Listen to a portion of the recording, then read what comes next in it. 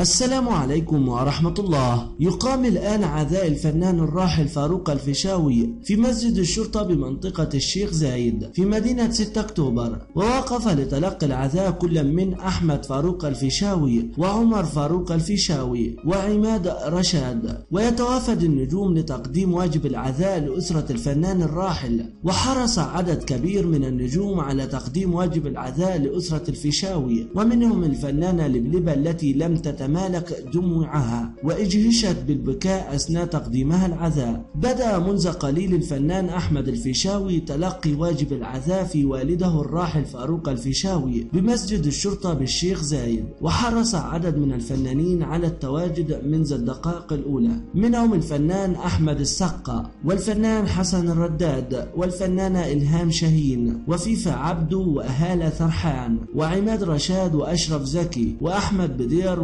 وفتوح أحمد ويسري نصر الله وأشرف عبد الغفور والمخرج محمد العادل. وهناك غياب لافت لعادل إمام عن عزاء فاروق الفيشاوي. وأكد مصدر مقرب من الفنان عادل إمام أنه يعاني من بعض المشكلات الصحية لذا اكتفى بتقديم واجب العزاء لأحمد الفيشاوي عبر الهاتف. وهو ما فعله أيضا مع الفنانة يسرى. إذا لم يتمكن من حضور عزاء والدتها وقدم لها العزاء عبر الهاتف. وكان عادل إمام قد قدم واجب العزاء في الفنان عزة أبو عوف إذا كان من أوائل الحضور إلى العزاء الذي يقيم أول الشهر الجاري. يشار إلى أن فاروق الفيشاوي رحل عن علمنا الخميس 25 يوليو بعد معاناة مع المرض. والآن نترككم مع صور العزاء